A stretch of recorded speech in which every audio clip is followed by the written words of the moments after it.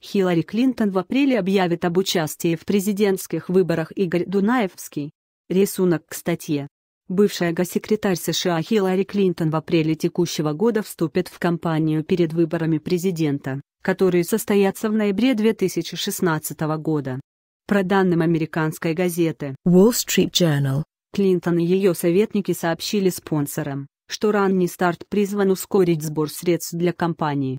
Ранее по теме.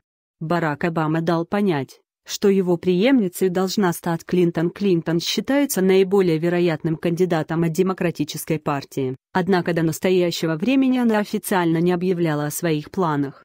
Тем не менее, по сути подготовка к этому идет полным ходом уже несколько месяцев. Бывшая госсекретарь и первая леди США собирает вокруг себя предвыборный штаб, в том числе из сотрудников администрации Барака Обамы, регулярно выступает по острым вопросам внутренней и внешней политики, формирует политическую платформу.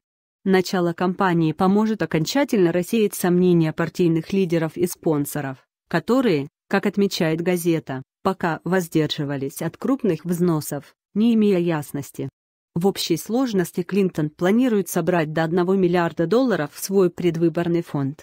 Для сравнения, Барак Обама в ходе последних выборов 2012 года собрал около 700 миллионов долларов.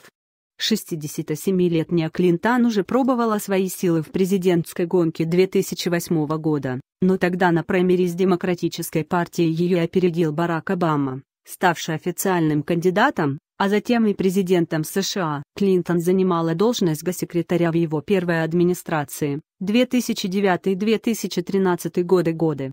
Ранее по теме. Клинтон заработала на лекциях в университетах 2 миллиона долларов другим вероятным кандидатом в стане демократов считается вице-президент США Джозеф Байден, также воздерживающийся от официального оглашения своих планов.